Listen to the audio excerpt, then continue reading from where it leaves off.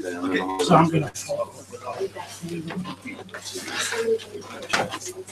Okay, morning everybody. Um, welcome to IPPR. I'm Nick Pearce. I'm the um, uh, director here, and um, I'm really pleased this morning that we have Nick Boles, MP, um, who is, as you know, the Minister for uh, Skills and Equalities across both the Department for Education and uh, the Business Department. Um, and Nick, in a former life, was also uh, head of a think tank. Um, uh, been in this kind of Garrett-like environment himself in in the past, uh, but we're really pleased he's here to, this morning to talk to us about um, about his brief, and in particular, we're interested here at the IPPR at the moment in 14 to 19 education and training. We have um, Louise Evans here leading for a project on us uh, on the question of reform of this phase. It's a very, very important phase in the education and training system. It's something that needs a lot more policy attention in our view, but we want to listen to what Nick has to say today. We've had some important announcements recently on apprenticeships. We saw at the autumn statement last week, although it didn't get much attention, an important announcement made about um, employers' national insurance contributions being uh, relieved for those uh, taking on apprentices. There's still a lot of issues here that need uh, thinking about, particularly in the context of a, an economy that's trying to recover, that's trying to ensure it has the right sort of supply of skills, uh, and in particular where we've still got large numbers of young people um, who are not making a successful school to work transition despite the reduction in youth unemployment still large numbers of people who are not making a successful transition. So we've been looking at other countries in particular the netherlands and australia and louise has published a report today uh, questions but we want to hear what nick has to say today and then what we're going to do i think is just do it a little more informally just open it up for some conversation and discussion. We haven't got uh, a huge amount of time but we'll definitely make sure that you can ask some questions and put your issues to nick whilst he's here. So nick over to you. Thanks for Right, yes, need to turn that up for a slightly taller Nick. Um, Nick, thank you very much indeed. Uh, very good um, to be back. Uh, been quite a while since I was last with you, but um, since when I was setting up Policy Exchange, the first place I came was to the IPPR uh, to talk to Matthew Taylor and ask him about how you did it. Uh, I've always been uh, very much in the IPPR's debt.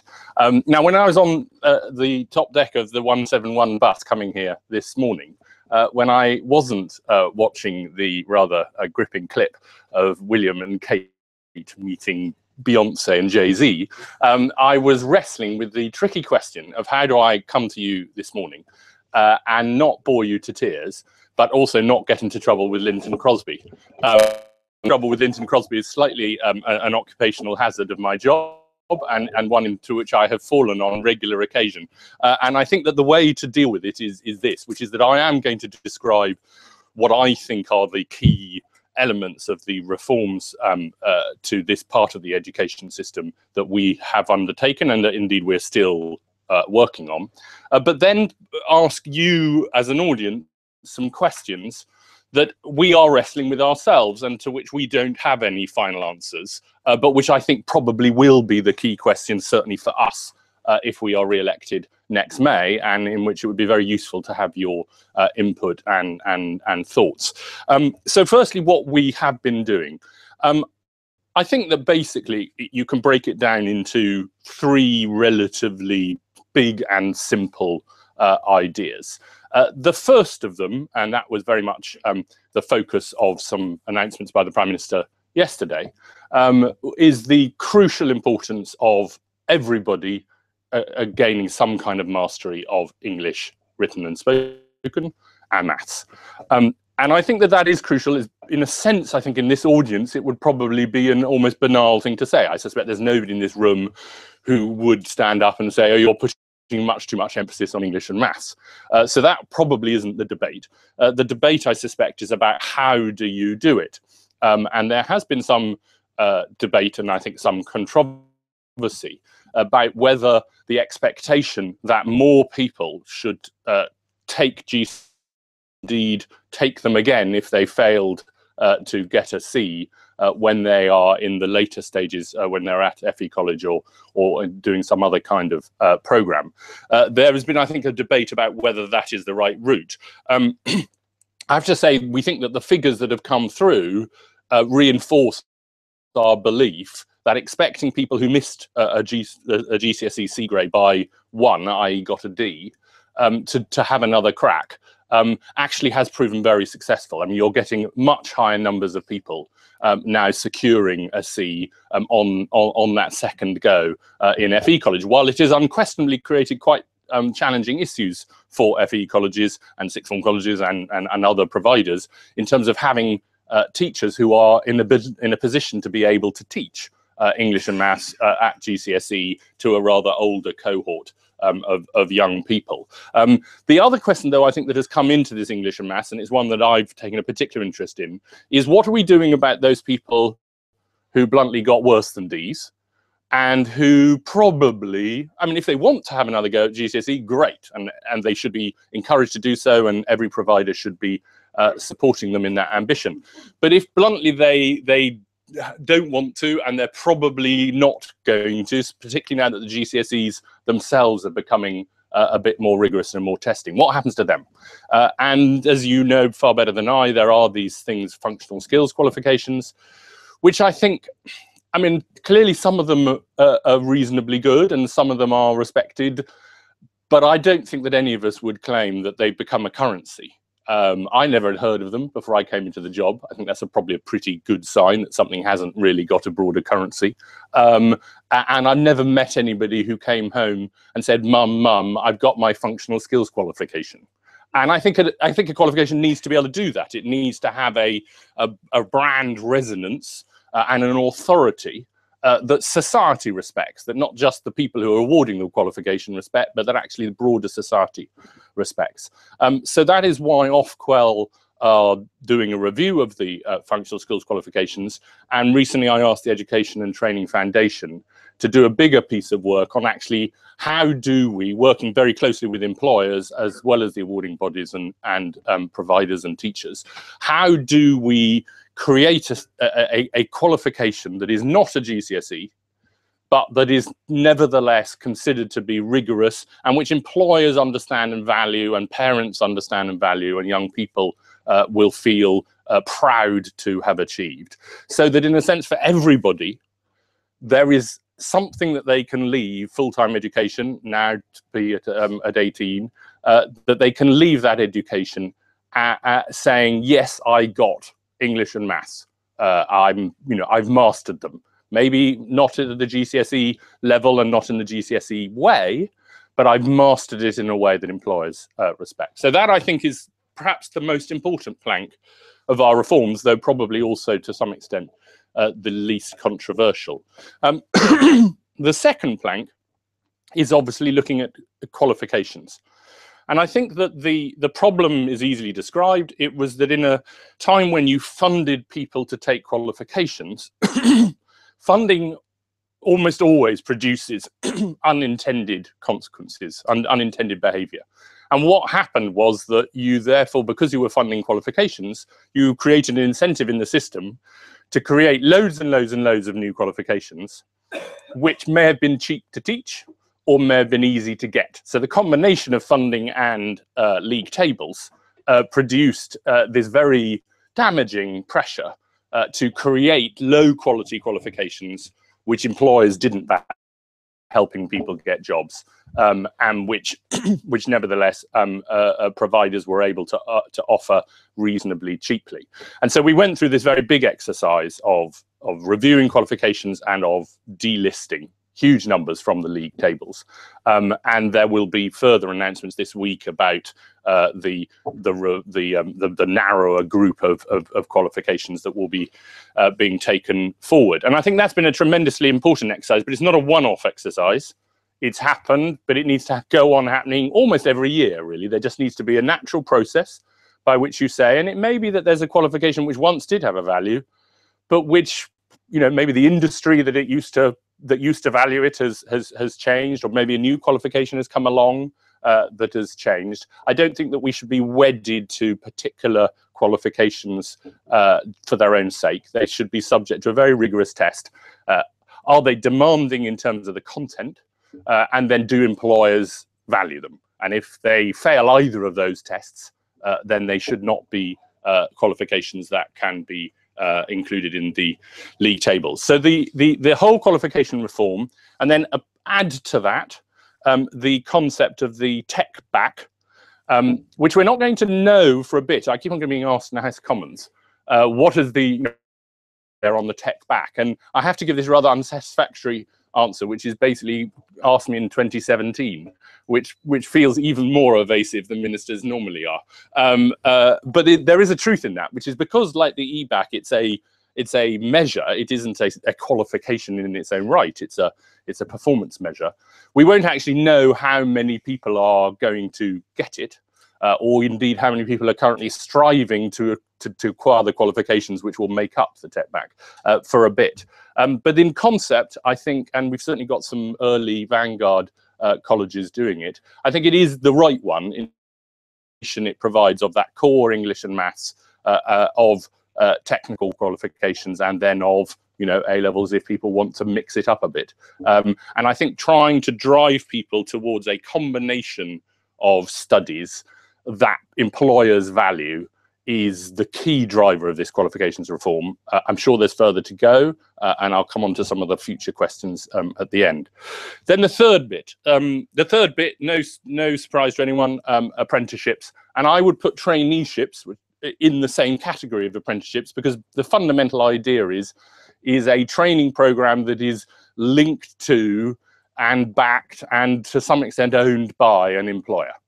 Um, and there is data coming out um, this week, I think probably today or maybe tomorrow, but anyway, you're going to get a, a little bit of a, an advanced billing of it, uh, which the business department have done um, uh, on, on, on destination data. And destination data, I think, in time will become the most powerful driver of behaviour within uh, further education and indeed within higher education too.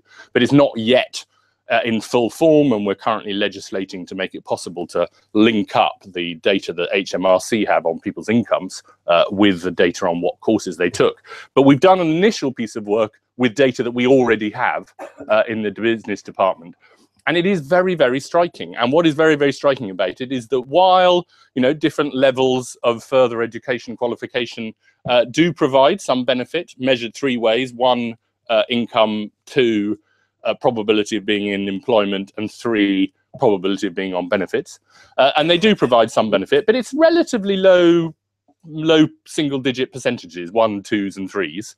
Um, apprenticeships uh, actually don't have much effect on your employment chances, but that's an, that there's an obvious reason for that, which is an apprenticeship is a job, uh, and so it doesn't actually you're already in the job before you uh, uh before you start.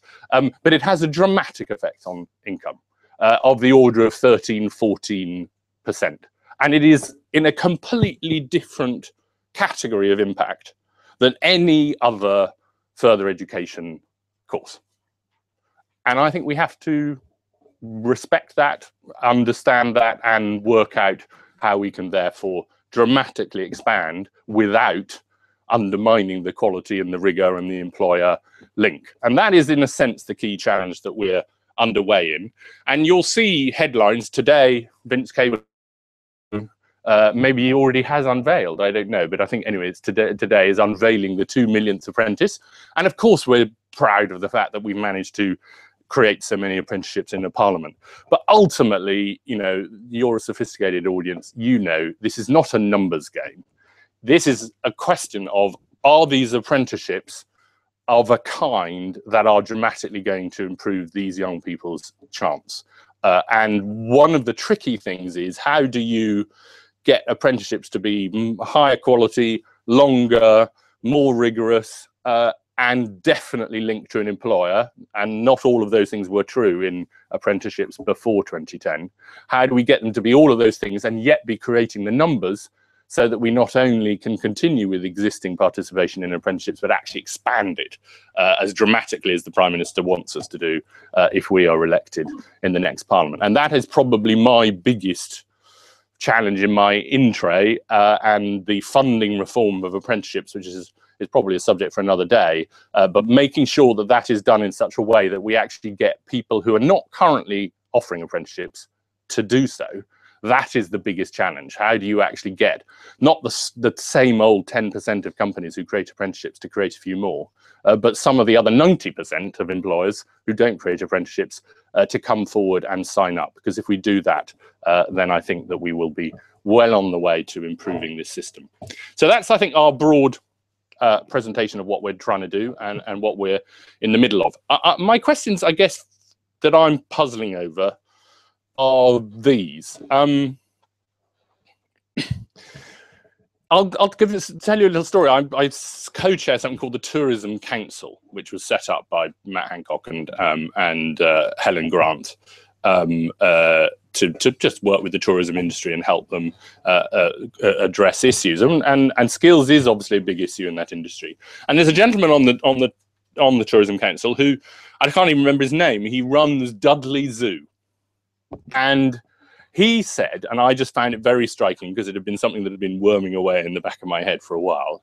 He said, I don't understand why our local college has so many people doing animal care courses when he said, I know how many jobs we create and it every year, and it may be two or three.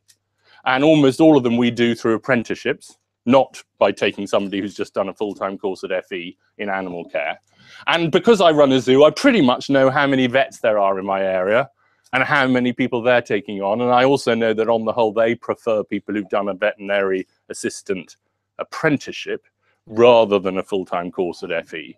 And so he said, why are there so many people doing, you know, spending taxpayers' money on taking an animal care course when they can't possibly going to be ending up doing a job that uses the skills that they've acquired? And I thought that was a very, very good question. And it's a difficult one because we have created a system for a reason, which is, is a, a, a demand-led system. Uh, so if a qualification is on, you know, respected by employers and demanding, uh, then you can get funding for a study program that will include it. The funding is for the student, not for the course. Uh, and if the the, the provider wants to offer it and can persuade lots of local students to do it, so long as it's, as it were, met the minimum bar of the qualification review, then in a sense, there's no limit to the number of people who could end up doing it. Um, and the question I'm wrestling with minimum bar on the qualification, which it should be a rigorous one, is it enough? Because something might be a valid qualification, but for a relatively small number of people every year. It doesn't automatically mean there's an in that is a useless qualification to say that there's perhaps nationally, you know, room for a thousand people every year, but not 20,000 people every year. On the other hand, that begins to sound incredibly like sort of central planning and you know Gosplan targets of thou shalt have you know 25,000 hairdressers and 43,000 beauticians, and we're going to allocate to each area how many. They, you know, you can see how as a as a sort of liberal Tory, I rebel at that idea. So that's question number one, and I'd love to have your thoughts of how do you stop over ex, overuse of qualifications for which there's actually relatively few jobs out there um, without having that kind of incredibly interventionist um, central planning. Next question I have for you is this, um, apprenticeships. Should we be comfortable with the idea that people uh, do apprenticeships after they've been in a job for an employer for quite a number of years. Is that now on the one hand, we want people to upskill, to continuously train, to take short courses, to you know, to adapt, and uh, uh and you know, we want people to work broadly speaking forever. So they've got to be allowed a chance to retrain at some point. But on the other hand, is the apprenticeships program right for that? Uh, again, question mark. We have quite a lot of people who are over 24 doing apprenticeships, um, and and certainly there's no intention to to stop that at the moment. But it is a question for the future. I think is is is that the right use of the apprenticeships uh, program, and indeed the what are going to become ever scarcer resources um, for it. Um, and then at the other end, there's a similar question, which is at a time of full time uh, uh participation up to the age of 18. Um, should apprenticeships be as much of a source of activity for 16 to 19 year olds as it currently is? Um, or should we be trying to encourage them either more to be doing the, the sort of tech back style programs or conceivably, you know, a traineeship uh, or do we need something else which is sort of like a pre-apprenticeship program but isn't an apprenticeship for 16 to 18 year olds again if you if you just suddenly stood up today and said you were stopping apprenticeships for 16 to 18 year olds um, it'd be a terrible mistake without having really, really thought through because A, the numbers doing it is high, and B, there are a lot of young people who really get a great deal from it. I mean, I met a young woman yesterday who's doing an apprenticeship uh, uh, in an incredibly interesting high tech business in Oxford. And she's a brilliant scientist and she's doing a you know high uh, advanced engineering apprenticeship and she's 16 and she made that choice and her employer's happy and she's delighted her parents are delighted. Who are we to say as politicians that that's an appropriate choice for a 16 year old so the question is do we do we think of them as 16 to 50 do we think of them as 16 to 24 do we think of them as chiefly 18 to 24 what's your views on that? And and that relates to another issue which is levels. Obviously we'd all like to see more a level three four five and on apprenticeships, and they are beginning to come through. The numbers are growing quite well, but from a low base. Um, are we content to continue to have also quite a lot of level two apprenticeships? Or again, do we feel that actually over time we should be moving towards a more uh, stretching environment? And my final question for you, because I blithered on for too long, um, is, is in relation to um, careers advice and guidance. Um, there, you're going to be hearing more about this um, uh, in a very, very short space of time. I think I probably all I can say. Um, so I'm not going to try and jump the gun on on that, but I think I can ask a question which is relevant even after you know what I know about what is about to be said, um, and that is what persuades. So this young woman, actually, she's fascinating. Last uh, that I met yesterday, we all asked her. We said, "So who told you about apprenticeships?"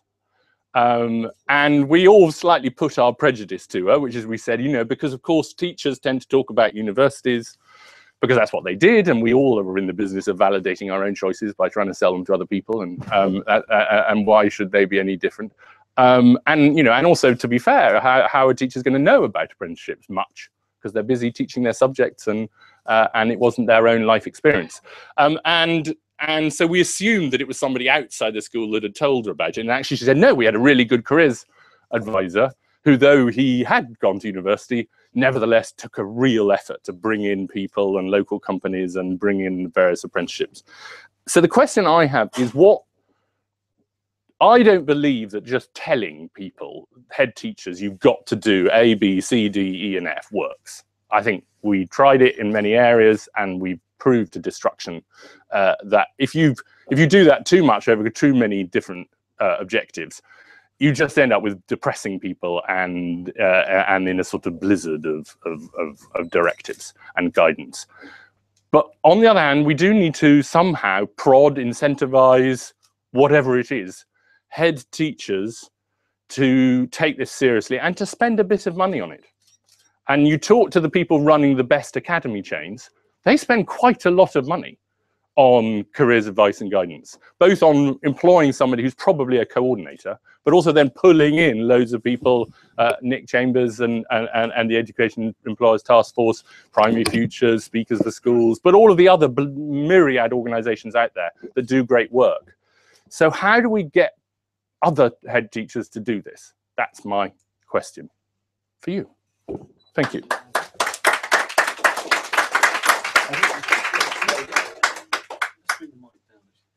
Great. Okay. Well, there we are. You've got um, all the questions. I don't even have to chair this really. You've got the questions there that uh, that uh, the minister would like to hear some thoughts on.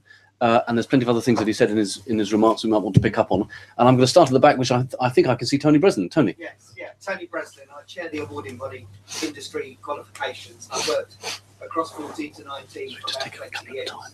Um, welcome to, uh, and really my um, my question or my observation is around your closing comments about the young woman in Oxfordshire and the issue of careers uh, guidance. It just seems to me that we're still not tackling what is a really fundamental status divide between academic and vocational learning. And in terms of unintended consequences, some of the reforms to academic qualifications have, have inadvertently but have served to reinforce that divide. And I just can't help feeling that as long as we tend to have a model that we throw the naughty boys a car engine, we will never get the quality of top end engineers we need.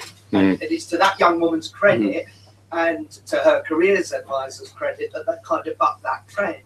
But if ever there was a case of the exception, proving the rule. So one of the questions I wanted to ask from that was, to what extent does the uh, split between the Department uh, for Education and BIS help in bridging the divide between academic and vocational learning and coming and, and coming through with a coherent message for heads?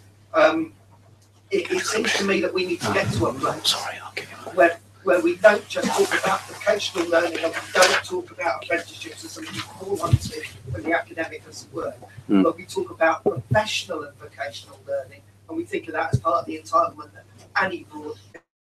I'd love your observations. Thank you, thank you, Jenny. I'll take a couple more and then we'll let Nick reply. So, yeah.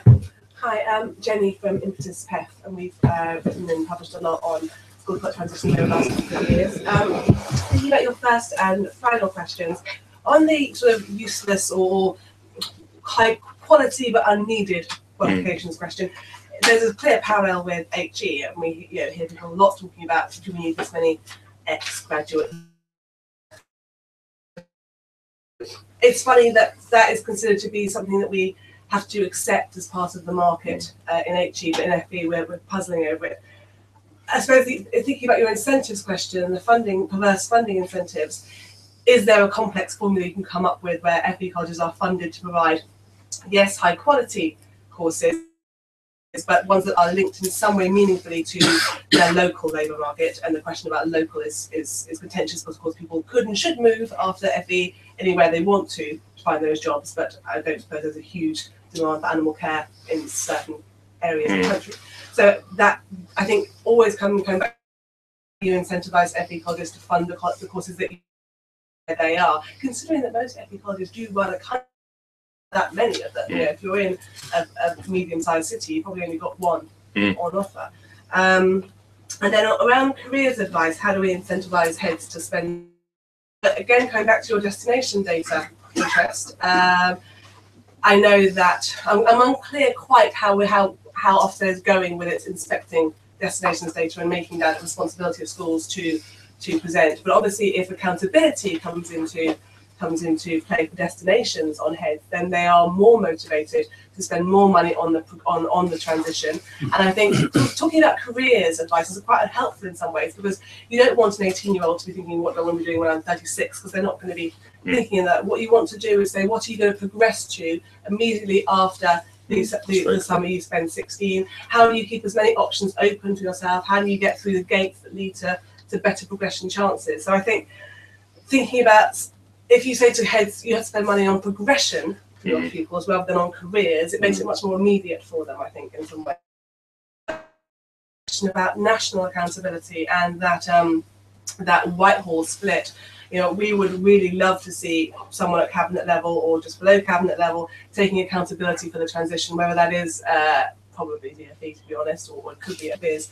I think uh, the split is incredibly unhelpful, and certainly there's no chance of ever getting parity of esteem. Um, although I'm skeptical of that concept as are IPPR. um, you know, when when it is so split across Whitehall. Thanks. So, let's yeah, Anne, Ann Hodgson. And, um, Yeah, Ann Hodgson, um, New Nick Institute of Education. Um, I think uh, the answer to some of your questions may be at the local level. Because um, while I take what colleague in front has said, I think um, most young people who are in that in FE tend to be more located in their in their locality. Mm. And there's the it's while one wouldn't want national central planning, I don't think anyone actually thinks that's worthwhile. Something that's more organised at the local level and coordinated at the local level would both um, allow you to get better matching between local labour markets and um, what's being offered in particularly in, in local um, colleges and so on. But also, I think involving employers in that brings them into the frame and both helps with career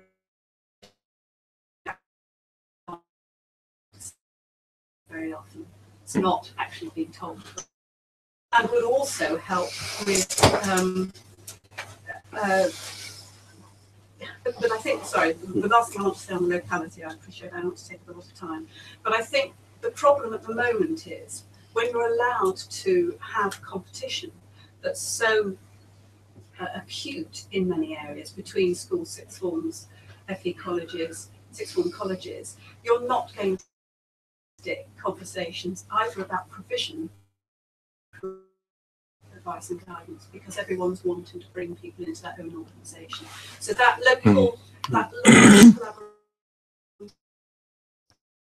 up uh, more places when numbers are going down in schools for sixth forms, I think would really help. Can I just, Okay, uh, yeah. just, I'm just a coder to those questions because a lot of the assumptions here are that it, it basically it's the state through its accountability mechanisms, through its funding systems, through the incentives it pro- that answers the Dudley Zoo question. It, it's the job of the state to make sure the FE college is doing. And, and your question is how much is that on the market, how much is planning? But why why is the director of Dudley Zoo not involved in the decision making about what is what is actually happening in their locality? Because you went to the Netherlands or you went to other northern European countries, the employers with the trade unions and with the state would be making those decisions. And why is it Mm. that Mm. he's just observing what the state does with its college and not involved in it? Mm. Right. Oh well, that's all brilliant. I mean, just just just fantastic stuff. Okay. The um, I'm not vaguely going to go in order, but in truth, they were all mm, very beautifully linked um, questions. And the, the the the divide, the vocational academic divide. And firstly, just to put on record, and it's not, you know, I couldn't be a more junior minister and I couldn't be further from the place where these decisions will be made at the start of the next parliamentary term. But I would take you know all education and put it all in a department called the department for education seems pretty simple to me um, and i don't think that that means that you break the link with business and employers because you you build that in throughout the system everywhere and it can we'll come back to that subject. But i think the, the suggestion that there comes sometimes that somehow if you put further education or apprenticeships or whatever into the dfe rather than in BIS you would somehow lose the link with business. Is just nonsense. Uh, and and I think it would make life simpler. Personally, I don't observe a difficulty. You know, I'll have a meeting and I have no idea which department the officials in the meeting have no idea and no interest in the question of which department they're in. So I actually don't see it. But what I do understand is that you all see it. Um, and so clearly there are levels at which it does become clear. And it may be that, you know, the, the meetings that I have about policy uh, are with a sufficiently senior level of official that it doesn't become apparent, and maybe it's in the implementation of that and the communication of that uh, that it comes through. But I think it is a problem. I don't actually think this will solve the fundamental problem about the the perception of different values, and I think that what we're running into is is a a fundamental limitation on the ability of government or politicians to change a, a culture and change people's minds. Um, you know, there clearly once was a time in this country when you know there was nothing cooler than being an engineer who went out and you know had a factory and or built bridges or you know uh, built railway lines. Um, and I don't think it was because somehow the prime minister of the day or the monarch of the day was out there preaching the virtues of you know, know of, of factories and, and railway lines and bridges. Um, it was within the culture of, of, of Britain at the time and the technological change and the idea we had of ourselves as a nation. Um, and then that shifted for a whole lot of reasons. Um, again, many of them nothing to do with government. So government is quite limited in its ability to to make that case. I mean, I make that case as passionately as I can, and and with the great advantage that I believe in it. But I do wonder if I'm sometimes not limited in my persuasive powers by the fact that I had an absolutely sort of pure form academic education. Um, uh, and I wonder whether you need to have, ideally, to have, you know, spokespeople um, who themselves have lived what we're trying to preach. Uh, and that can be true. Yeah, that can be true across whole areas of government. Um, but but in this area, I, I do wonder whether that make a difference. But I suspect that in truth, it's going to gradually happen anyway, because there actually has been a revival in engineering and high value manufacturing in this country for a whole bunch of economic and uh, uh, uh, uh, and global reasons. And I sense that you know that there is perhaps no longer the same uh, fetishization of either media or finance, which certainly was true in the in the in the in the 90s and, and in the noughties. Um, so I think it's probably beginning to shift the culture, uh, but I think it's a very reasonable question to ask: what can government do to to establish it further? I don't I don't totally accept the idea that the academic reforms have made it worse. I just think we need to do the same in the technical and, and vocational area as we've done in the academic area to, to, to reassure people that we're very, very focused on, on standards and rigor and quality and, and, and value. And we've sort of done that quite heavily in the academic area, which is in a sense by implication suggested that the other area is those things don't matter and actually they matter, if anything, uh, more um, uh, because because the employer link is is, is, is so vital. Um, the uh, quality and these qualifications. I mean, I think uh, our answer our answer is destination data. I mean, actually, what we believe and hope, I think hope perhaps is a, a, better word at this point because uh, it's a bit early to tell, is that when that information is produced and is really, really fine grained, you know, I did these through uh, GCSEs, and then I went on and did this BTEC and this other thing. Uh, what was I earning, you know, five years later? And I did them at these institutions. You know, when you start having that, that will be the most powerful driver of of choice. But I think we have a given that that level of detail is quite far away and given that there are lots of other sort of complicating factors, you know, you know, you, you know, in the existing performance measures for schools, the, the, the nervousness very properly about, you know, your intake and your location affecting. So how do we measure, you know, how, what's the equivalent in progress eight in destination data? I, you know, it's quite complicated stuff. So I guess I just think we have to ask ourselves the question.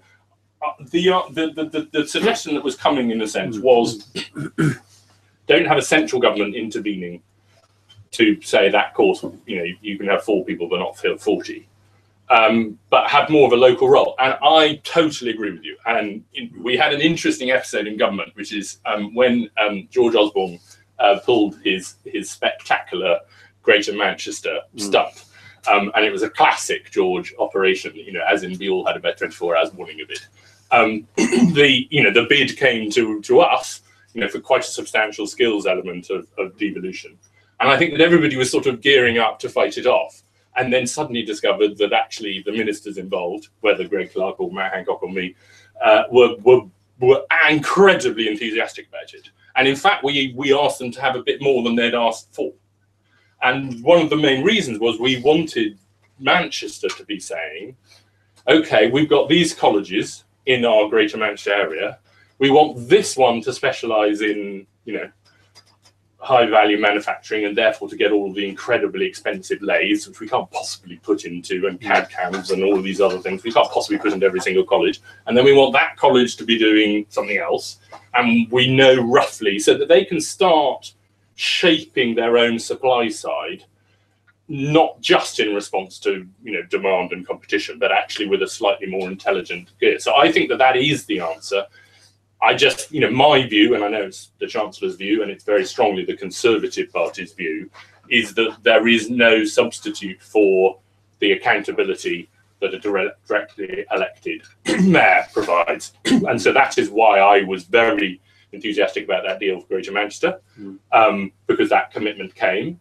Uh, but I, I, I, I, myself would be a little nervous about making that kind of devolution settlement across the country to existing local government structures.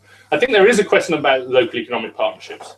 Um, now, to some extent, LEPs have become this thing onto which we all project all of our hopes and ambitions for a perfect utopian future. Um, and not all of them, I think, are adequate to the task, shall we say. Um, but I think it is the right, is roughly the right construction, hmm. uh, in the sense it's not a huge region but it's bigger than just a local authority area. It is business led. And the fact that they've been running now for a few years would, I hope, offer an opportunity to, to perhaps get them more involved in this. So perhaps in areas that aren't going to do a Greater Manchester, giving the LEP more of a role in in, in, in shaping what colleges um, do. Um, I loved what you said about not careers. I, am so glad you said it because it's one of those things I've always thought and never quite dared say. I just think it's nuts, this idea that you're talking to people you know, uh, 12 or 14 or 16 or 18 about a career. You're not. You're talking about what's next. And the most important thing is what you said, which is what closes doors and what opens doors. And the key for them is not to close doors, to make course choices that keep their options broad. I hardly, I look at my friendship group. I mean, the numbers of us who are doing what we thought we were going to do, you know, even when we were 21 and graduating from first degree, the numbers of us who are still doing is, is vanishingly small. There are few lucky people who want to be a doctor and become a doctor or want to become a barrister or whatever it is. But most of us random walk. And it's been a great, great experience because it's been a bit of a random walk. And so I do very much agree with you. I think it is about your your next two or three steps max. Yes. It's not this sort of, you know, are you going to become uh, this for you know, when you're 50 or 60? It just, it's so clear it's not going to do that. Thank you much, Nick. I'm going to do another round of questions, but I will. I'll just start with my own, which is just the, the implication of what you said about Manchester, which I, I also thought was an, an incredibly important deal, is that if Leeds and Wakefield or you know Greater Birmingham and others came together into a combined authority with a mayor, Yeah. then more skills and apprenticeship funding could be you know devolved to that level of combined authority governance if there's a mayor in place, as is as is the case in Greater Manchester. The, but the big conurbations that could be a model to follow, and, and the Conservative Party and the government would would back that kind of model. That's the implication of what you said. Yeah. I think is that right to say. Absolutely, Yeah. yeah. Okay, yep, gentlemen here, and then I'm going to come to the back to Paul, and then yeah, Uh, David Harwell from the Edge Foundation. Just a very specific example, which I can fill out more fully on another day. But I visited Woodham Academy in Newton Aycliffe two weeks ago. Uh, the whole of year nine had been divided into teams to find out about apprenticeships in local businesses. Now, in fact, practice, they found out about a lot more than apprenticeships because they went to, let's say, Shepherd Construction, building a factory for Hitachi. Everyone thinks that it's going to be a bunch of men with pieces of steel discovering that they have IT specialists, HR, finance, they have graduates. Some of the graduates started as apprentices. And at age not, uh, at that age, about 13, year nine, it's enough to make them think there's a lot of opportunities here I never dreamt of, Mm, and that actually I'm more ambitious than I realized. mm, mm. Very very good. Okay, let's come come back. Yeah, Paul. Uh, Paul Clark from University UK. I've just got a, an observation and a question. The, the observation is uh, to your point about the um, the animal care example. Um, I wonder if it's the case that we are specialising too early in, in the curriculum in this country, and, and whether part, part of the answer is um, having a more um, strategic approach to introducing things like creativity, data literacy, some of those the things we, we, we can see um, are needed more generically. Uh, and I wonder what you thought Mm. about the, the opportunities to, to change that. Uh, but the question is, your you mentioned about the uh, societal value of certain types of qualifications, and I think that um, the, the issue around incentives linked to funding and reputation could apply equally well to entrance to universities. And I know that many universities doing fantastic work um, in, in opening up their um, their entrance to a broad base of qualifications, having much more flexible uh, entry routes into the, but they feel they don't get the funding or the, or the reputational um, factors don't work in their favour um, in fact stacked against them. I wonder what your views were about what more either higher education policy or universities could do to, to create um, more flexibility so it's not either um, you know vocational education or academic education, we could get a bit more of a, of, of a blend of those two things together. Okay, thanks, Paul. And lady here, yeah. Jill Clipson Association Colleges, I'm just picking up um, on your first point, and also my colleague that's just spoken, we've raised the participation age, but we perhaps haven't really thought until now about the structure of the curriculum and what it is we're preparing young people for. And the young people that you cited earlier who may be engaged in small animal care, if they weren't doing that, what would they be doing? So I think we have to be careful in terms of supply and demand. I think the question is, how are those programs preparing young people for a life where actually your your uh, career may change several times during your life, and how you developing those often referred to softer skills so that you are adaptable and resilient. For some young people, they're very clear about what they want to go on to and can go into an apprenticeship, um, and that's appropriate for them. But for other young people, actually, they need a broader curriculum to develop a broad base of skills and move on from there. Okay, thanks very much. I Yeah. uh, Nick Chambers from Charity Education Employers. Uh, there was a report out last year, uh, picking up your Dudley Zoo, that looked at the career aspirations of 11,000 young people and mapped them against the predicted jobs in the UK, 13 million jobs in the next 10 years. And it did it by sector by sector in a series of bar charts. And what the bar chart showed Is actually there was nothing in common because what kids were aspiring to weren't where the jobs were. It's a very graph. I think uh, a great project that hasn't really had much publicity is the LMI for All, the Mm. Labour Market for All uh, project by Warwick University and the UK Commission. I don't know if anyone's here. Mm. You know, that's a great thing, but actually, teachers don't know about it. Mm. So we've got some a bit of a hidden gem. So in all the work that's going to be announced tomorrow, if we can actually say to teachers and help them to use, we've got a great Yeah. product, but they don't know about it. If we can disseminate that to teachers, I think that will help Mm. teachers in the short term. So for people who don't know what that is, that's a uh, basically a database accessible by the website of labour market information, all sorts of occupations and jobs, their skill levels, Yes, and yeah. Yeah, I think they looked at on, on 900 biggest uh, type in the world actually Yeah. of every sort of job, and it has salaries and you know every bit about Yeah. every job Mm. is in there. It's great online, Mm. but not many people are aware Yeah, of about it. it, yeah. So Did you, were you from the commission, did you want to say something about it? no, I'm glad you mentioned it. Good. Right. I mean, firstly, um, I completely agree. I, I think that the, one of the key things is getting it in much earlier.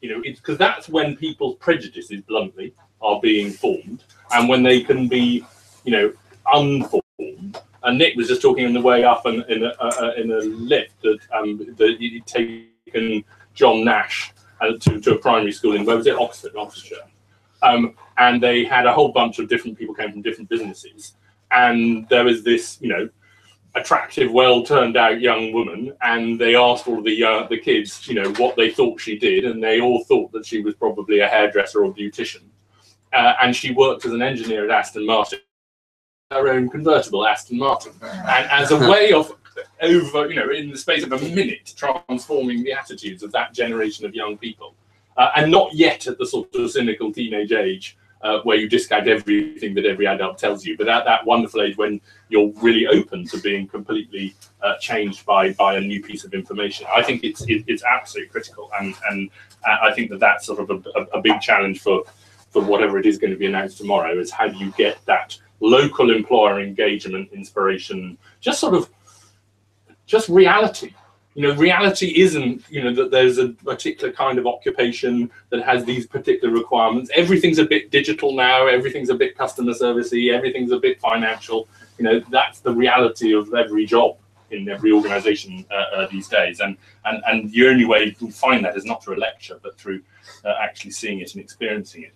Um, I'm fascinated by what you said about the university. Uh, I I think you seem to be implying that those universities that are actually trying to be a bit more innovative and responsive and and you know adaptive are actually suffering a reputation loss as a result and are finding it hard to do. Is that roughly what you're saying? I think, I think in some sense, yeah, the, the, the incentives and the perceptions and the legal and some of the other kind of structures in the system kind work against that sort of innovation. That's very interesting. I mean, I'm not the university's minister. I, I've been I've been surprised that since tuition fees, um, you know, went to the level they're at, that there hasn't been a greater change in the sector in terms of the. Uh, I'd expected a dramatic increase in the number of part-time courses, sandwich courses, all of these different kinds of programs, um, uh, because it just seemed to be such a natural response to the reality of having to to pay. My partner is doing a part-time degree at Birkbeck, uh, and it's you know it's just fantastic.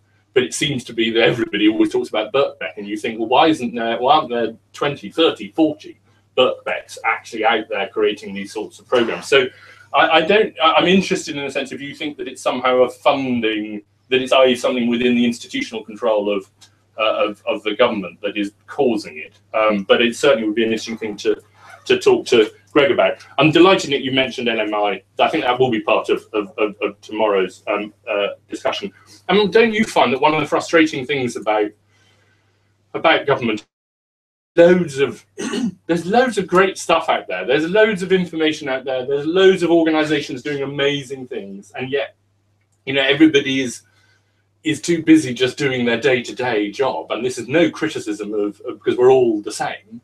Uh, that we're all so busy just doing what we have to do that day. And I feel for head teachers when faced with this problem. I just think, you know, the amount you've got on your plate, who, how are you going to find the time to actually get somebody to find out what are all the different organizations that could help you? What is the, all of the data that you could mine and understand your local area? I think the key is that they have to have somebody to work with, and that's um, hopefully a direction uh, that we can take. And just um, Jill, from uh, your point about, uh, of course, you know, what's in a sense to all of the questions I asked, it's completely not an answer to just sort of close off existing things because you don't think that they're great, or until you've really thought through what are you going to put people onto.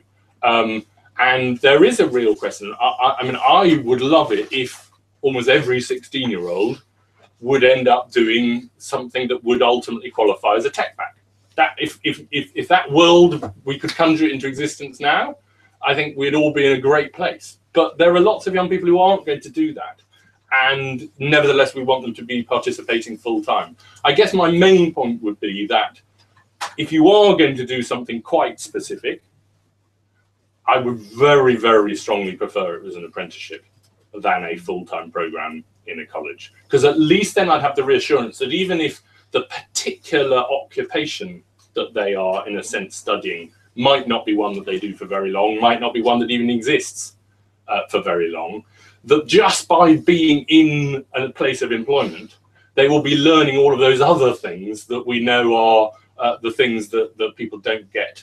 Um, you know, even through the best university education, they just don't get uh, that understanding of, of life and, and reality and dealing with people and, and the like. So that's why I think to the extent we can, we want to move people into apprenticeships uh, so that then, in a sense, it doesn't matter so much what is the particular, it's the general employment behavior that they learn, which will, will last throughout their lives, whatever they do. Thank you very much, Lee. It's been really interesting for me. Thank you so much. Great. Well, thank you very much indeed. Thanks. I thought it was a really engaging session. Thank you very much for coming. Thanks for your questions. Thanks to Nick for spending the time this morning in the busy schedule. And do look out for our work on 14 to 19, which will be coming out in the spring next year. Thanks very much indeed. Excellent. Great. Thanks, Nick. That's great. I can bring you through.